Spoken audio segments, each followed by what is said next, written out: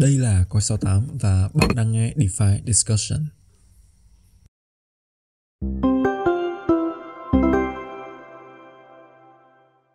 Hello, xin chào mọi người. À, rất vui khi được gặp lại à, anh em trong một tuần mới và một tập mới của podcast DeFi Discussion. Thì rất là vui khi mà trong cái thời gian mà uh, tình hình Covid-19 nó cũng đang rất là căng thẳng và nó đang đi vào những cái giai đoạn mà mọi người cam go để ờ, phòng chống dịch. Thì bọn mình cũng coi như là có một cái uh, món quà về mặt tinh thần để anh em có thể nghe. Uh, cũng như là có một cái nội dung gì đó để để để khi mà nấu ăn hay là chuẩn bị uh, rửa chén thì có thể nghe cái nội dung này uh, vào đầu tuần.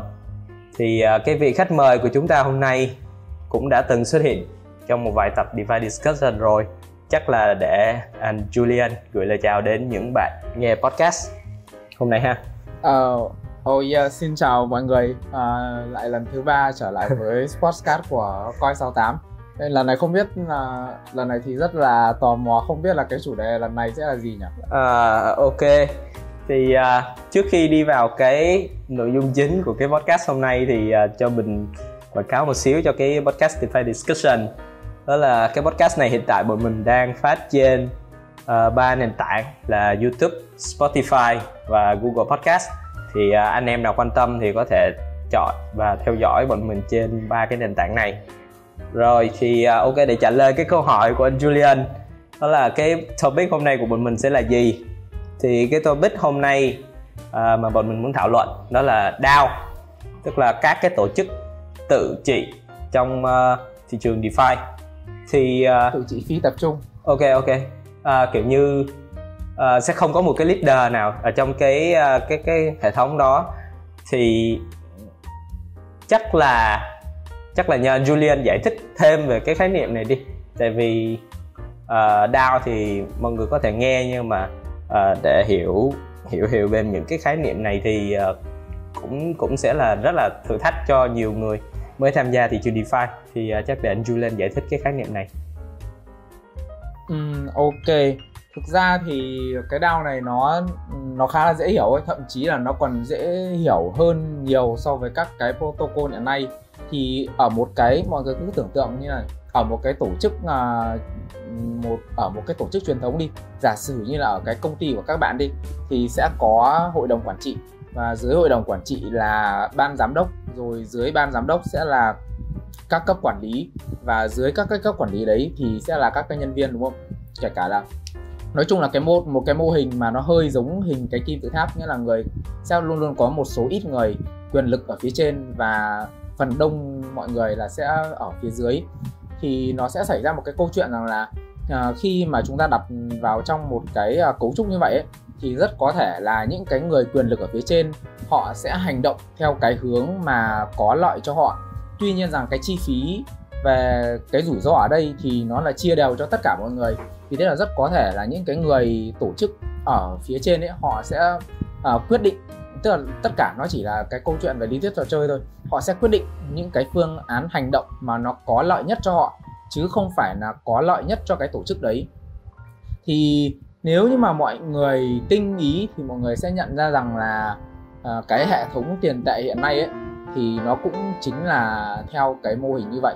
Và ở phía trên thì sẽ là các ngân hàng trung ương và dưới các ngân hàng trung ương là các cái uh, ngân hàng uh, nhỏ hơn.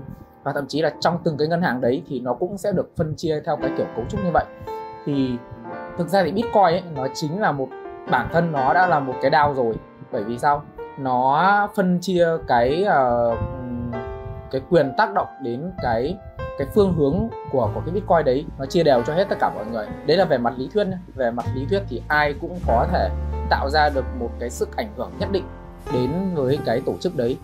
Đấy là một cái cách uh, miêu tả cơ bản thôi. Hoặc là bây giờ lấy ví dụ là giống như kiểu là một lớp học chẳng hạn. Trong một lớp học bây giờ sẽ không có lớp trưởng nữa.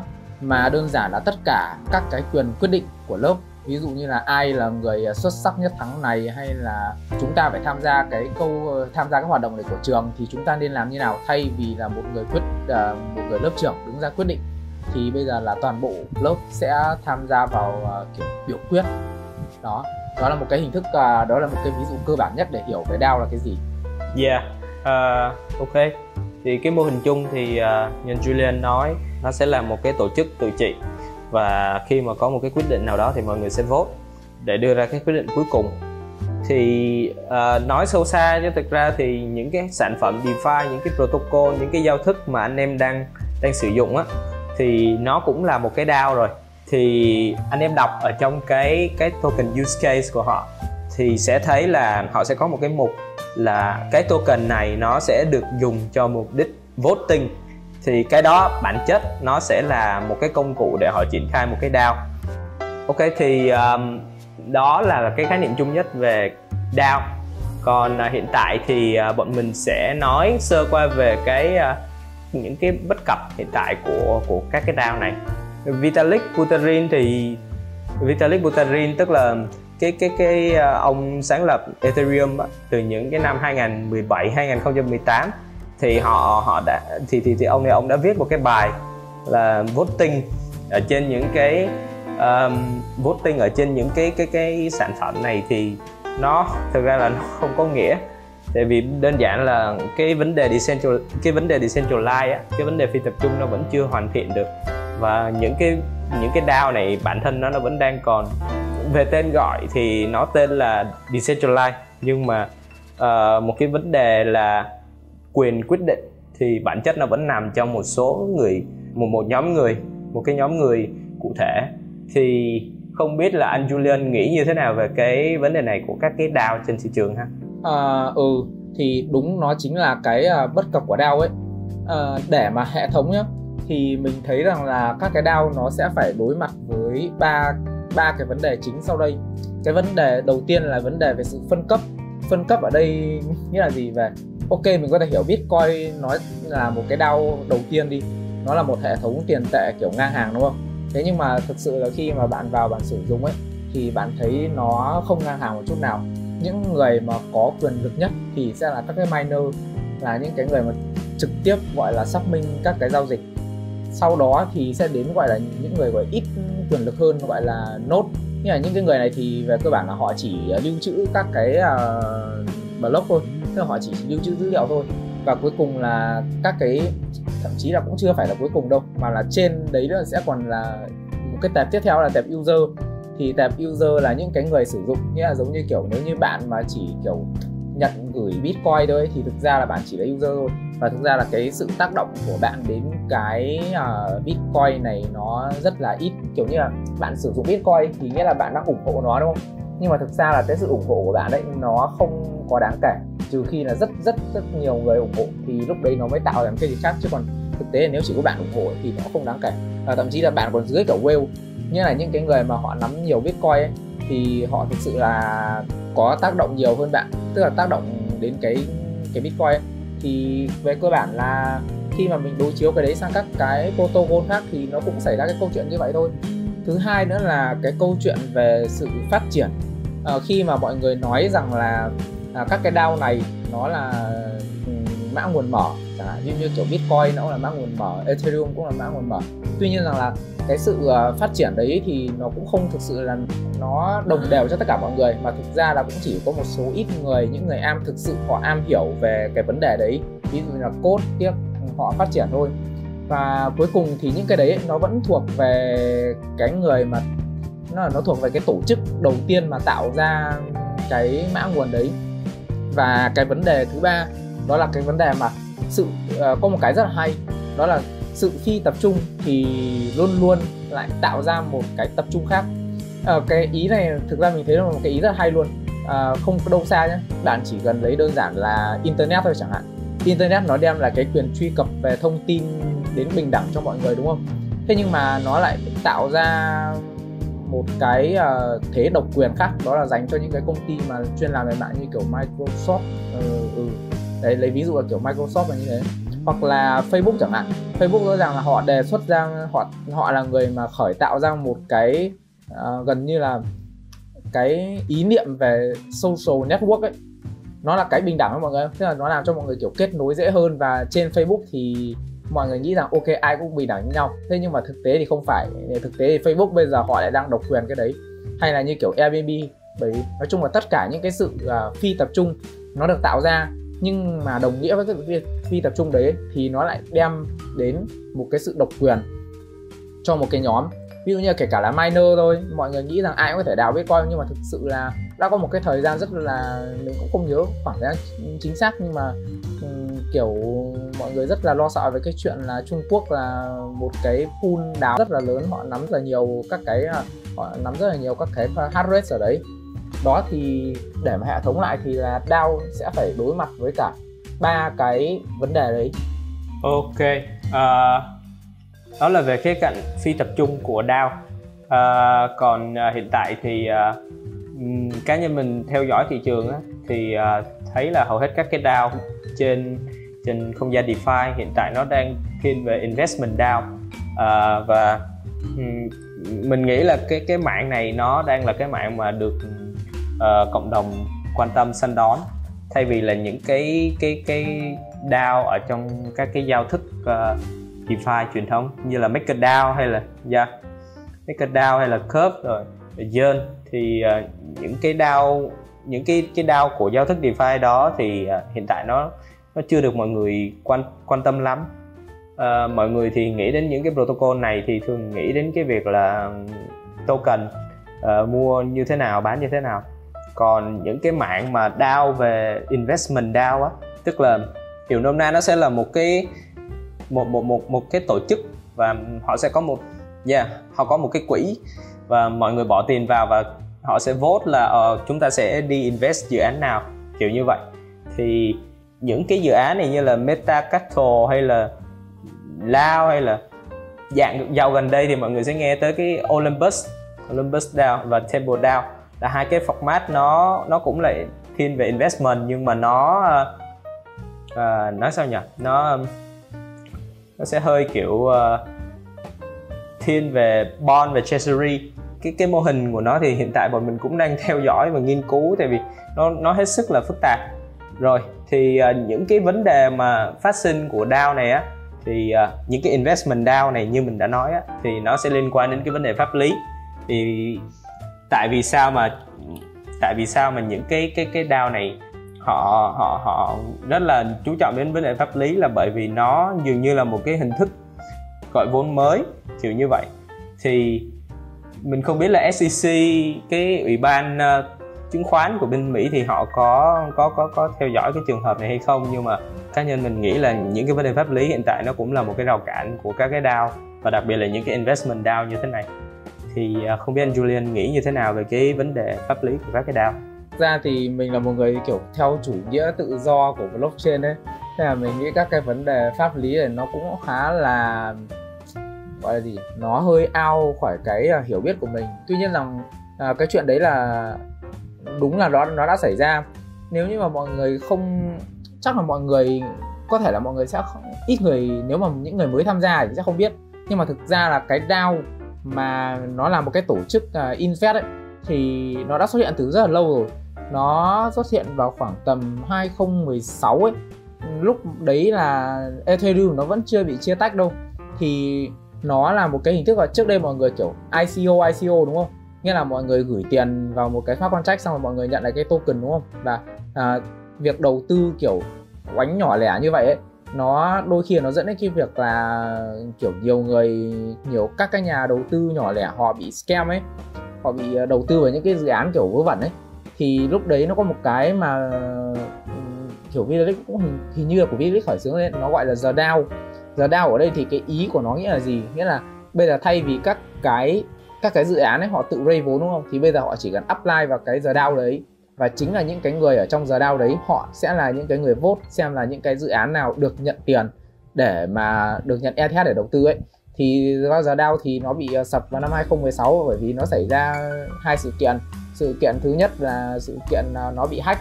Thì sau khi nó bị hack như thế, cái số tiền hồi đấy nó rất là lớn vì như là mình không nhầm thì hack khoảng tầm ờ, 4 triệu ờ, e thì phải. Ờ, chả nhớ số tiền hồi đấy là bao nhiêu tiền.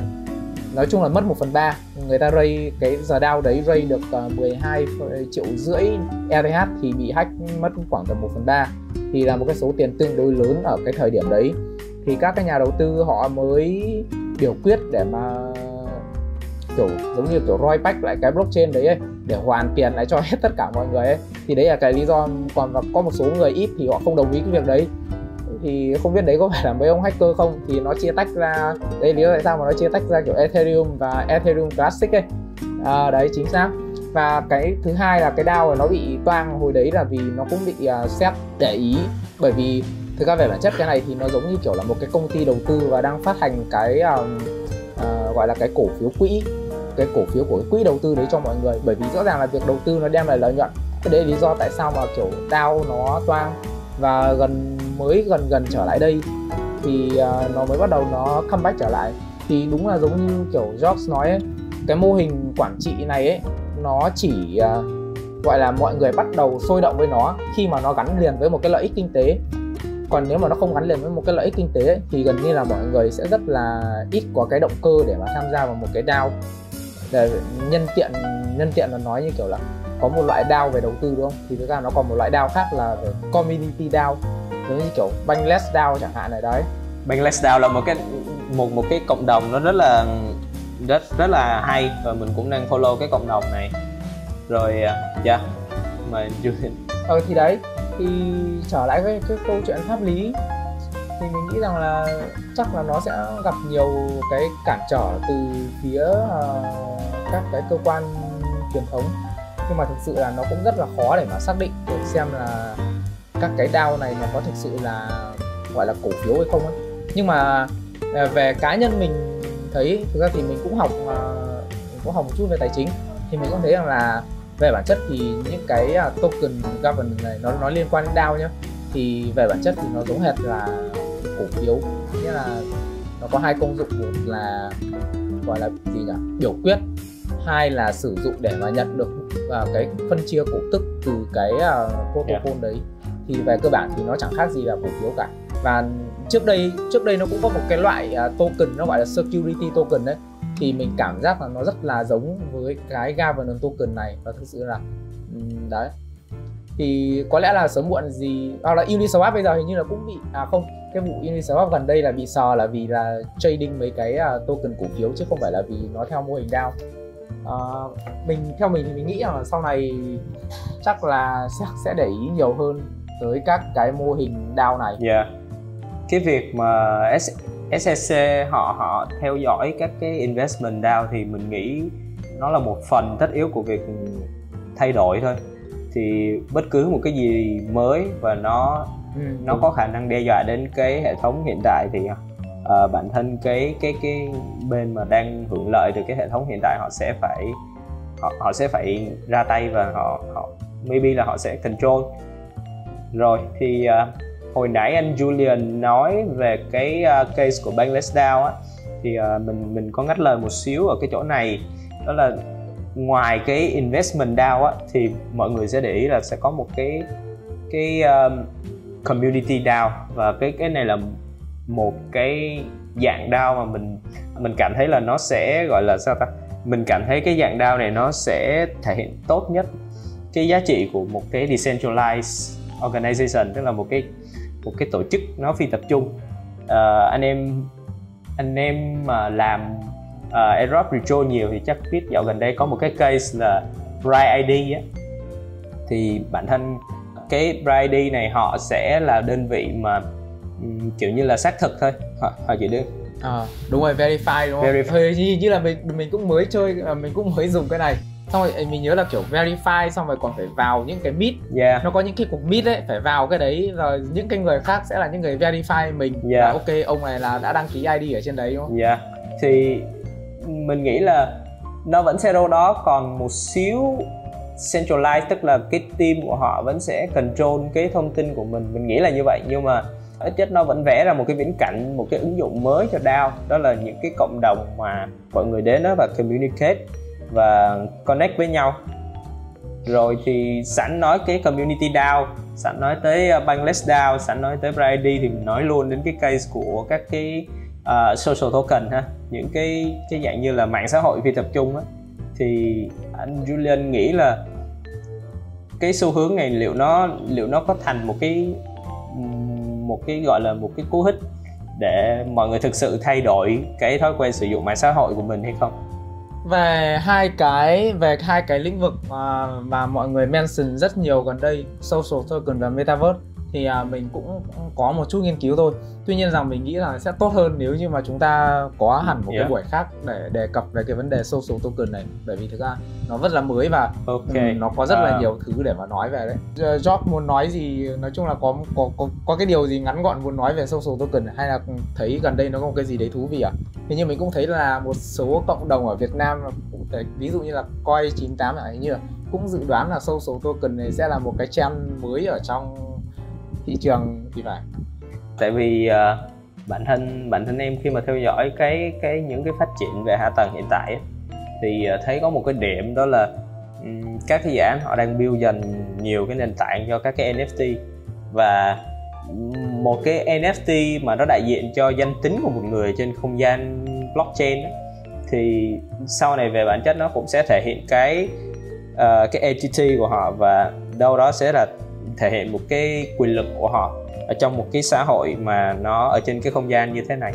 Thì tất nhiên là mỗi mạng nó sẽ có một cái một cái đặc trưng riêng của nhau, nhưng mà dạo gần đây thì em thấy là những cái mạng như thế này nó nó hơi giao thoa với nhau á. Và khi mà những, từng cái mạng nhỏ này mà nó giao thoa và nó kết hợp với nhau thì maybe là nó sẽ tạo ra được một cái một cái thứ gì đó nó hoàn toàn khác biệt khi mà so với khi mà nó đứng riêng lẻ. Cho nên là cái viễn cảnh mà uh, mọi người chơi game metaverse rồi mọi người uh, có một cái một cái mạng xã hội mà mọi người uh, gần như là có một cái cái cái cái vai trò của mình thì nó cũng là một cái điều mà mình đáng chờ đợi. Thay vì là uh, ok chúng ta để dữ liệu của mình tập trung quá nhiều vào một nơi như là Facebook hay là Twitter thì ừ, mình thấy cái này nó nó nó cũng được mention rất nhiều ở trong những cái cộng đồng về blockchain trên trên trên phạm vi cả thế giới nữa. Yeah, ok. Thì uh, đó là những cái uh, những cái uh, thông tin xoay quanh đến cái uh, mạng DAO và cũng như là một cái một cái một cái biến thể của nó tức là những cái mạng xã hội mà nó phi tập trung. Thì uh, ok, hy vọng là cái buổi trò chuyện hôm nay của mình là nó cũng đâu đó nó cũng gợi lại cho anh em những cái những cái khía cạnh mới và uh, những những cái tiềm năng mới của cái thị trường crypto này những cái viễn cảnh mà có thể là nó sẽ hoàn toàn thay đổi cái cuộc sống sau này. Uh, nó là một cái innovation thực sự thay vì nó chỉ đơn giản là một cái hình thức để chúng ta investment. Tất nhiên là mọi người join cái thị trường này thì cũng vì mục đích profit thôi. Bản thân mình thì cũng cũng cũng join vì cái mục đích uh, profit nhưng mà đâu đó chúng ta nhìn cái bức tranh nó uh, giãn ra một xíu và chúng ta cảm thấy nó nó nó đáng để chúng ta thức dậy và tìm kiếm cái cơ hội và research mỗi ngày. Thay vì là chúng ta sẽ lo sợ là ok chúng ta đang bị dẫn dắt hay là chúng ta đang bị điều phối như thế nào đó. Nó cũng là một cái lý do mà tại sao bọn mình chọn cái topic về DAO tức là một cái viễn cảnh mà nó nó phi tập trung mà nó công bằng hơn cho mọi người uh, sẽ uh, sẽ uh, sẽ có một cái uh, gọi là gì nhỉ? Uh, một cái gợi ý nho nhỏ một chút. Đây là không phải là quảng cáo đâu. Nhưng mà thực ra là ở Việt Nam mình gần đây thì cũng mới nổi. Không biết là kiểu Job có biết là gần đây ở Việt Nam mới nổi lên một cái cộng đồng đúng là kiểu cái community DAO cũng khá là nổi. Và mình thấy là trong đấy những cái người uh, gọi là ở trong cái hội đồng uh, DAO đấy cũng khá là toàn là những người uh, gọi là nổi tiếng. Uh, không biết là do có biết không nhỉ? Radar DAO đúng không hay là ừ đúng rồi đấy chính xác. Ok rồi. À, thì thực sự là cái cái cái DAO nó không còn là riêng sau khi mà cái trend game gaming và NFT nó bùng nổ thì Việt Nam mình cảm thấy là nó không còn là một cái thị trường mà đi sau rất nhiều so với thế giới mà bọn mà mà mà uh, các cái dự án các cái cộng đồng ở Việt Nam đã bắt đầu gọi là định hình ra cái cái cái cái trend như thế này. Thì đó là một cái tín hiệu rất là đáng mừng. Riêng như cái việc là chúng ta thấy là ok thì mình thấy ở Việt Nam cũng đang xuất hiện đâu đó những cái DAO những cái guild về game. Thì uh, hồi nãy chắc bọn mình cũng quên đề cập đến cái vấn đề của YGG uh, một một cái DAO về game thì uh, chắc là uh, có dịp thì uh, chúng ta sẽ ngồi lại với nhau và nói sâu hơn về một cái điểm giao thoa nữa giữa DAO và Metaverse và game. Thì nếu mà có điều kiện thì chắc là bọn mình sẽ làm thêm về những cái chủ đề như thế này. Ok, rất cảm ơn anh Julian đã tham gia cái podcast DeFi discussion hôm nay. Thì uh, chắc là anh Julian sẽ gửi lời chào đến uh, các bạn đang nghe podcast. Yeah, ok xin uh, xin tạm biệt mọi người. Chúc mọi người một buổi tối vui vẻ và hẹn gặp lại mọi người ở những cái số podcast sắp tới về crypto DeFi. Ok, rất cảm ơn anh em đã nghe uh, cái tập podcast hôm nay. Thì uh, nếu mà anh em cũng quan tâm đến thị trường DeFi thì có thể tham gia cái cộng đồng FOMO Sapien. Trong cái cộng đồng này thì bọn mình liên tục thảo luận về những cái vấn đề nóng hổi của thị trường DeFi. Anh em có thể tham gia cái cái cái group Telegram này thì bọn mình sẽ để cái đường link ở dưới uh, phần mô tả ha. Rồi thì uh, ok. Chắc là cảm ơn anh em.